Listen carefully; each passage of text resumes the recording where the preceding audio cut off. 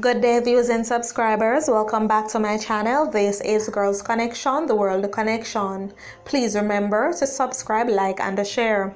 Also, click the notification bell to receive daily news updates locally and internationally. Kemoy Campbell rushed to hospital after collapsing at Millrose Games.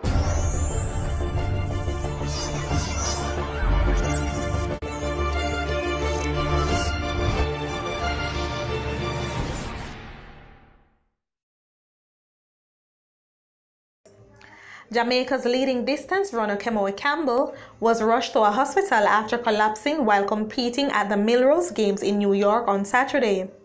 Campbell looked very disoriented while performing his duty as the pace setter during the men's 3,000 meter race. He collapsed near the shot put area and did not immediately respond to contact from nearby personnel. Police and paramedics soon arrived and reportedly had to use a defibrillator on his unconscious body.